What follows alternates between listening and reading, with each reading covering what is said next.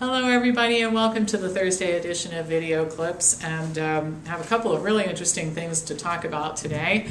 And I'll start with this one. Apparently John McDougall is absolutely right. Humans have always lived on a starch-based diet. Uh, so this this uh, article I'm going to talk about, this research study, is going to make the uh, plant-based people happy and the paleo people a little upset, which I don't really care about that, I suppose. Uh, the research team reported in the quarterly review of biology that carbohydrate intake, especially starch, was needed for the expansion of the human brain. In other words, what they're saying is the paleo diet was starch based, not animal foods based. Well, the group based its conclusions on archaeological, anthropological, genetic, physiological, and anatomical data.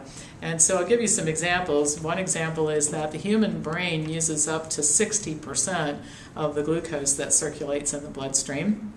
The body can synthesize glucose from other sources, but the preferred energy source and the one that is most efficient is glucose, which uh, is a source of fuel, and that comes from carbohydrate.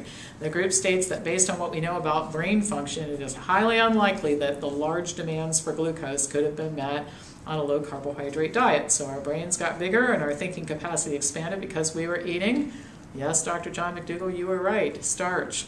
Pregnancy and lactation increase glucose needs. And let's think about it. If the species cannot perpetuate itself through reproduction, we're in real trouble. We wouldn't have been able to survive to have this interchange on, on YouTube here. Uh, low maternal blood glucose levels can compromise and even threaten the lives of both the mother and the fetus. So it's unlikely that we could have survived while eating a diet based in animal foods because there's no carbohydrate or glucose to be readily had from, no carbohydrate and no ready glucose uh, to be had from animal foods. Now, another thing that is interesting is humans have several genes for salivary amylase, while animals that eat a diet that's centered on animal foods have very few of those genes. The genes cause the production of amylase, which gives us the ability to digest starch.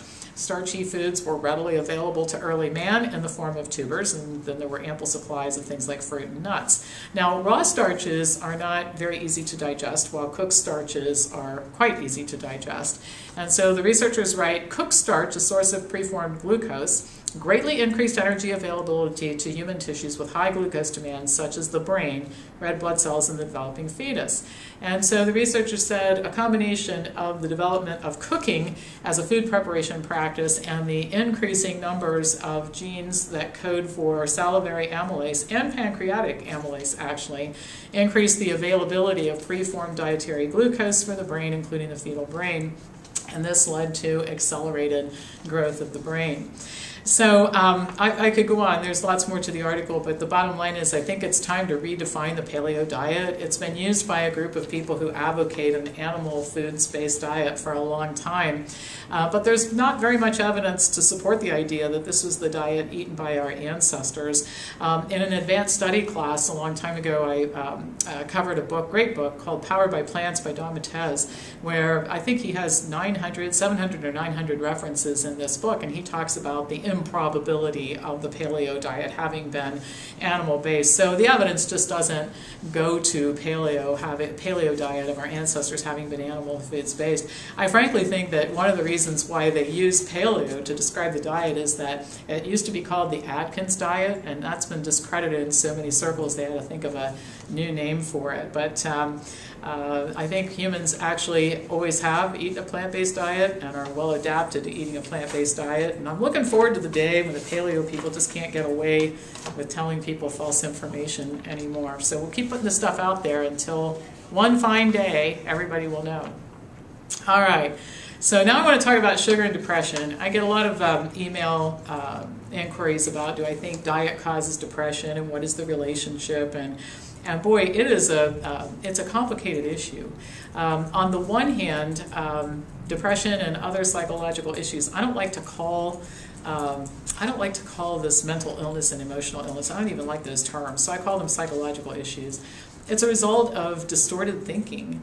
And I think food is pow pretty powerful stuff, but I just really can't wrap my head around how apples could make somebody feel unlovable or um, the, you know, have somebody develop distorted thinking patterns like um, I'll never amount to anything and you know that sort of thing. I just don't think food does that. On the other hand, um, the issue, there is an issue that has developed in the last several years, where depression's become a really broad term that now includes things like feelings of fatigue and low energy and general unhappiness. And boy, diet can have a profound effect on fatigue and energy levels. And people who are chronically tired and have low energy can sometimes feel pretty depressed about not being able to do stuff, you know, and be unhappy. So I, I think we've broadened the definition of depression, and definitely diet may play a role there. And then you have an issue with people who are depressed or on their way to becoming depressed, uh, often don't take really good care of themselves, and they can even use food to make them happy. I mean, chocolate and pastry can be almost as good as drugs for improving mood sometimes. I mean, you know, I don't think I'm depressed, but I have to say chocolate improves my mood. I totally get that.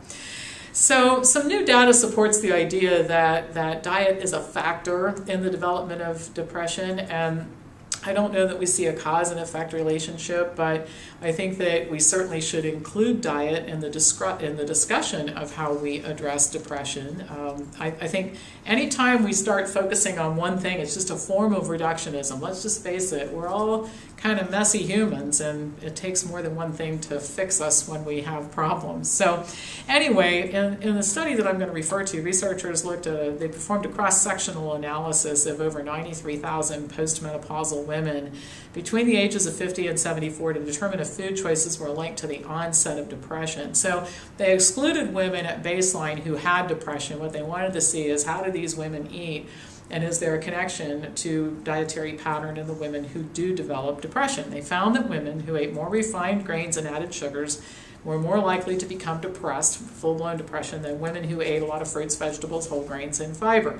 Now, they were clear that the effect was not the sugar in the fruit or the carbohydrate, it was added sugars, it was the junk food that they were talking about. Um, they said that there was no uh, connection between glycemic load and depression. And I, this glycemic index thing, it's an interesting academic exercise. I really don't think that it has much bearing on how to choose food, so I was sort of glad to see that. Now, the researchers said that there were limitations in their study, one of which was that all the diet information was self reported. Now, I, I believe that's a limitation, but actually, research shows that when people report on their own eating habits, they tend to over exaggerate the good foods they eat and under report the bad foods they eat. And if that were to hold true for this study, it means that. Um, uh, these women were uh, actually experiencing improvements in health. You know, whatever fruit, vegetables, whole grains, and legumes they were reporting, they were probably eating less, which means that the positive effect was was noted at even a lower amount of plant food intake. Um, the other limitation acknowledged by the authors was that depression was self-reported rather than diagnosed via psychiatric evaluation. Now, from a pure research standpoint, I'm sure that that's true, but in my experience, people who say they're depressed usually are depressed. Um, psychiatric evaluation is at best an imprecise science. So again, from a pure research standpoint, I'm sure that I would agree, but, but um, from a practical standpoint, I don't think it really makes any difference. So the take-home point is that dietary change can not only make somebody better from a physical standpoint, can help to resolve degenerative conditions um, that are physical, but uh, can also play a role in helping somebody to make um, uh, to make them feel better from a mental and emotional standpoint too. Food really is powerful stuff, but I don't think we're going to jump off the cliff and say eating toaster pastries is going to cause you to be depressed. I think that um, eating toaster pastries might be a symptom of depression, and getting better means feeling better mentally and physically. And so, get the toaster pastries out of the diet. Good idea for a whole lot of reasons. All right, that's all for today. As usual, pass this on to anybody else who you think would enjoy watching it, and I'll be back to you next Tuesday with more news.